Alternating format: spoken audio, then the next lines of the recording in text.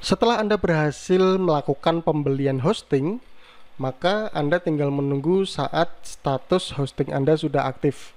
Nah, di sini hosting yang kita beli sudah aktif, maka Anda perlu melihat atau mengecek email Anda di mana akan ada email akan ada email dari Hakhost berisi tentang detail dari hosting yang Anda beli. Nah, di sini new account information Anda akan bisa melihat detail pembayaran, kemudian juga informasi akun. Nah, di dalam informasi akun ini terdapat name server. Apa itu name server? Name server adalah suatu database atau server dan di dalamnya terdapat domain name dan IP address. Name server ini pada umumnya mempunyai lebih dari satu server, misalnya NS1, NS2, NS3, dan seterusnya.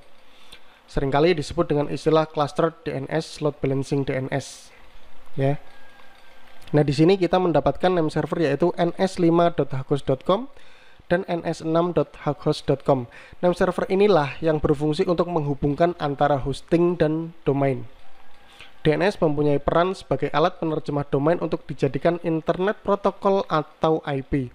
Nah, di sini jika Anda sudah mendapatkan name server dari paket hosting yang Anda beli, maka Anda perlu mengupdate name servernya di bagian domain Anda.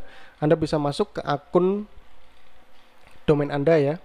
Di mana di sini saya menggunakan layanan dari Namecheap.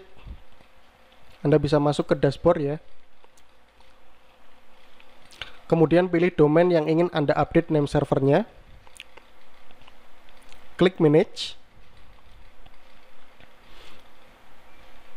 Lalu di bagian name server Anda bisa pilih custom DNS.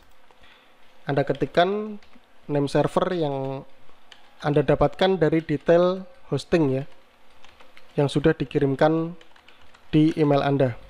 Nah, seperti ini ya. Jika sudah kemudian klik pada logo checklist seperti ini.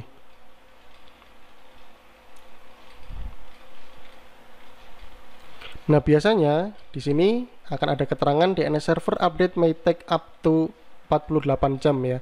Artinya Anda perlu uh, menunggu sampai dengan 48 jam atau dua hari ya sampai dengan name server ini terupdate di domain Anda. Meskipun biasanya di Namecheap ini saya tidak perlu sampai 24 jam.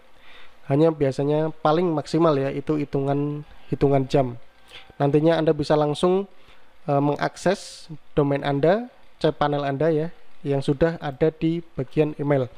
Anda nanti bisa login ke cPanel menggunakan URL seperti ini, kelasmaya.website slash cpanel. Kemudian menggunakan username dan password yang sudah ada pada informasi akun baru Anda di paket hosting yang dibeli. Nah, itulah tadi tentang bagaimana cara menghubungkan domain dengan hosting Anda yaitu dengan mengupdate name server yang diberikan oleh pihak penyedia hosting.